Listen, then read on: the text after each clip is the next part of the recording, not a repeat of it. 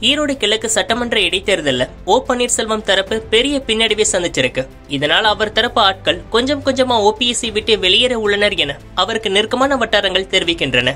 ஈரோடு கிழக்கு இடைத்தேர்தலில் பொது வேட்பாளரை நிறுத்த வேண்டும். அதை பொதுக்குழு உறுப்பினர்கள் அங்கீகரிக்க வேண்டும் என உச்சநீதிமன்றம் உத்தரவிட்டு இருக்கு இந்த பொதுக்குழுவில் ஓ பன்னீர்செல்வமும் இடம்பெறலாம். வேட்புமனுவில் அவைத்தலைவர் தமிழ்மகன் ஹுசைன் கையெழுத்து போடட்டும். இந்த உத்தரவு இடைத்தேர்தலுக்காக மட்டுமே என உச்சநீதிமன்றம் உத்தரவிட்டு இருக்கு பொதுக்குழுவை உடனே கூட்ட முடியாத பட்சத்துல கடிதம் மூலமா பொதுக்குழு உறுப்பினர்கள் கிட்ட ஆலோசனையை பெற வேண்டும் என முடிவு செய்யப்பட்டு இடைக்கால உத்தரவும் போடப்பட்டிருக்கு.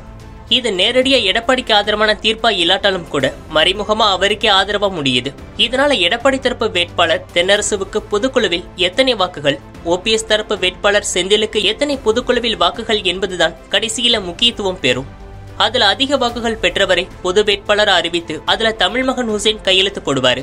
இப்ப எடப்பாடி தரப்புக்கே பொதுக்குழுவின் ஆதரவும் அதிக அளவுல இருக்கு.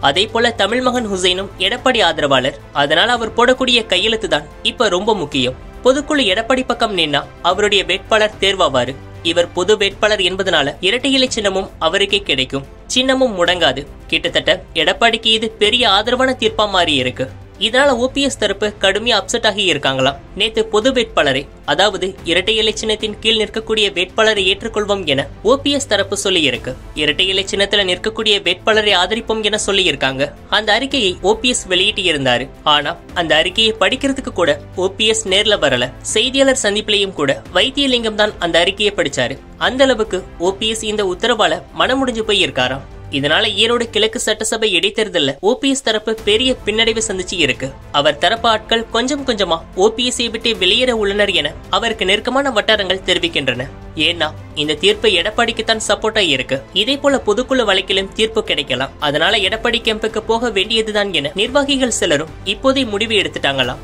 முக்கியமா தென் மண்டலத்துல ஓபிஎஸ் டீம்ல இருக்கக்கூடிய நிர்வாகிகள் சிலர் வரும் நாட்கள்ல எடப்பாடி டீமுக்கு தாவ போவதா ஓபிஎஸ்க்கு நெருக்கமான வட்டாரங்கள் தெரிவிக்கின்றன. எடப்பாடி தரப்புக்கும் இந்த தொடர் சம்பவங்கள் மகிழ்ச்சியை கொடுத்திருக்கு.